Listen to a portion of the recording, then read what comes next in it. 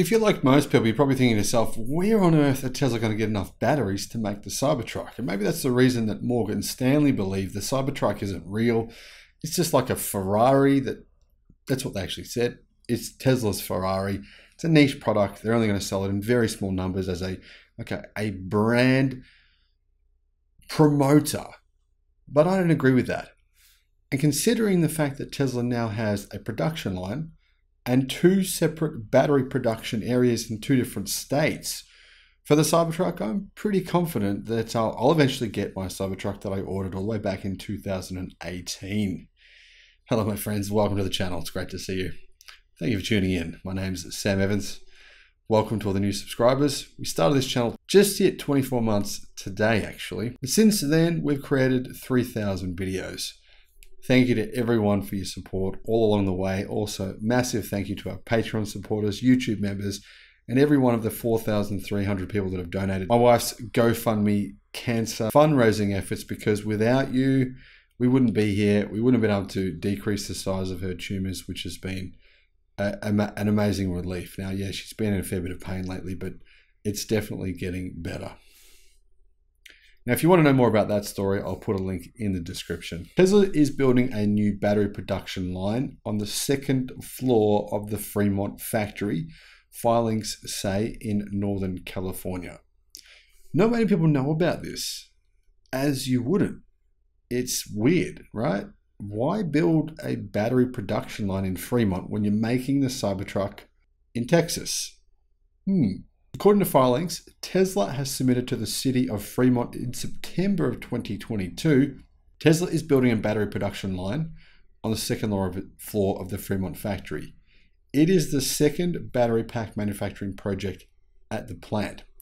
There is another production line, which is called a preliminary Cybertruck battery pack line on the same floor at the factory. So it's a bit confusing here. Now, Teslarati says that this project differs from the Cybertruck line as Tesla filed it under a completely different name and as a separate project. The Cybertruck lines are listed as CTA Battery B build, while the separate line is listed as Pack B build. So it appears as though there's actually two different battery production lines for the Cybertruck at the factory in Fremont, which is surprising to me. Good work from Teslarati here to actually discover this information. I don't think this is very commonly known. This battery production line is taking shape and is several months into its construction, say the filings.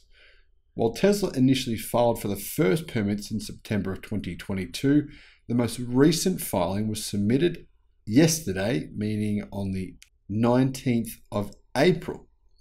But there's already been one revision to the project, which occurred in December of 2022, and the first tool installations on the line were performed in February of 2023. So things are actually progressing. They didn't just start yesterday, fortunately for them.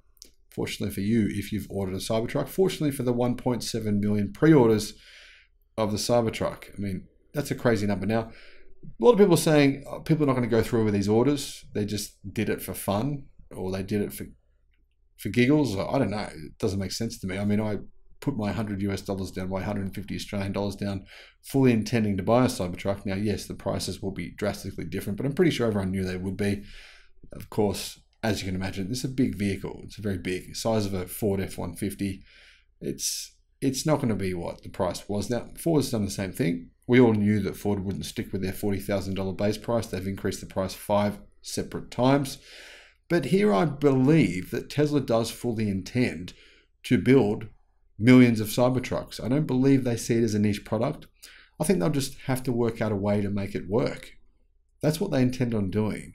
And I think Morgan Stanley is completely wrong because Tesla absolutely does intend to build millions of these, but it won't happen for a while. I think they're right on that. It's going to take a few years for them to ramp production while these battery production lines increase. Now, having these two production lines for batteries at Fremont, building 4680 cells in Gigafactory in Texas, that's nowhere near enough. Tesla know this. They also need the factory in Mexico. I believe the factory in Mexico will build a battery production plant nearby using CATL's lithium iron phosphate technology. They'll then use these cells, which are increasing in, in energy density regularly. They're up about 10% this year, versus last year to put into base model Cybertrucks, making a more affordable Cybertruck maybe around 50,000 US dollars. That's what I'll predict with that. Tesla may be making the line on the production line larger than originally planned based on new filings. And there's additional tooling station being planned, as well as three additional airdrops. These new lines will likely supplement battery pack manufacturing for all four models, meaning the new Model 3, the new Model Y, the Model S, the Model X as well, which are produced at Fremont. When I say the new Model 3 and the new Model Y, I'm referring to the so called refresh, which isn't a refresh, it's way more than a refresh. If you haven't seen my video on that, I'll put a link in the description. Tesla has continued refining the Fremont factory over time, and its battery pack manufacturing efforts have been going on for years. Apparently, Tesla is still working on the dry electrode coating on the 4680 cells. They have some expert helping them with that currently. That's what I'm hearing. I don't know how far along they are with that, but hopefully they're progressing because it's taken quite a while. In recent memory, Tesla has established two new battery manufacturing lines.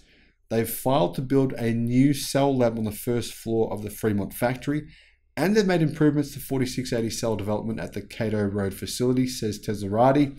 So things are going. I mean, they're moving, but I really think Tesla need the LFP cells. I think they need mass manufacturing of affordable LFP cells I think Tesla agree with that. I've been saying this for a long time now. Tesla Master Plan Part 3, right? Eh, that's what it calls for.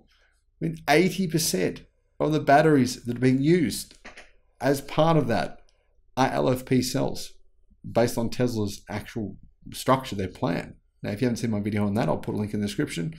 But yeah, clearly LFP cells are the future. And there's been rumors that Tesla will build a battery, a massive battery facility in either Texas or Mexico for LFP cells. Now, what are your thoughts on that? Do you think that I'm right that Tesla will use LFP cells in the Cybertruck in the future, in say a base model variant? Or do you think they'll use 4680s or something else? Let me know in the comments what you think. Thanks for watching. Bye bye.